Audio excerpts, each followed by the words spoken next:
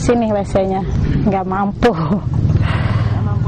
Nggak mampu bikin WC Kadang-kadang ya ke sini, kadang-kadang di empang kayak begini nih. Kan bagi zaman di empang itu banyak tuh di sebelah sana gitu. kan dari kali jauh ke sini masa kalau buang air buang air besar dari dari kali harus ke sini dulu ke rumahnya ibu rt kan nggak mungkin. Ya mungkin. Karena ada yang dekat ya udah di situ aja gitu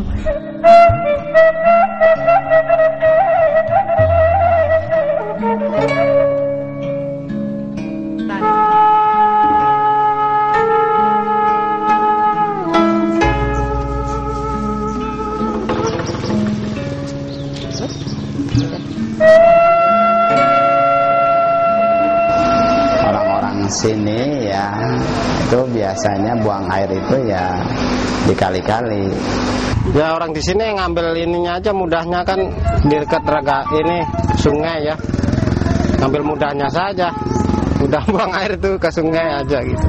walaupun kita sebagai petugas memberikan penjelasan karena taraf pendidikannya sangat rendah otomatis susah diserapnya oleh masyarakat Gak pernah ada penyuluhan ke sini gitu.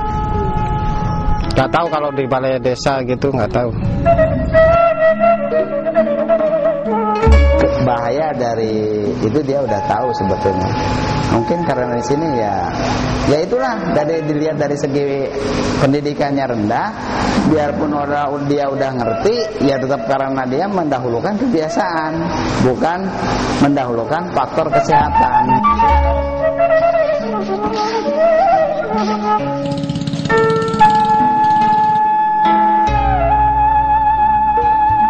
Sebenarnya mengerti kan banyak penyakit ya. Kotoran kan. Nah karena keadaan tak mampu itu jadi bikin itu jamban di sungai gitu. Jangankan untuk buat WC buat eh, sehari-hari aja mungkin masih susah lah dibilang susah gitu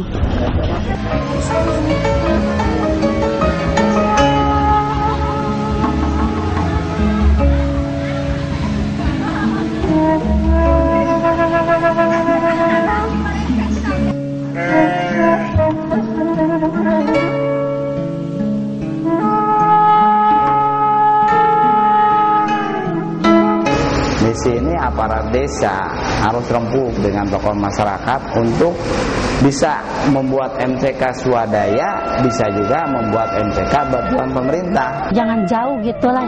Strategis gitu tempatnya. Umpamanya di RT sini ada satu di dekat ibu RT umpamanya. Nanti belas jaraknya agak jauh dikit ada lagi gitu. Enakan di WC umum lah. Ya kan rapat gitu di dalam ya. Nggak kelihatan sama orang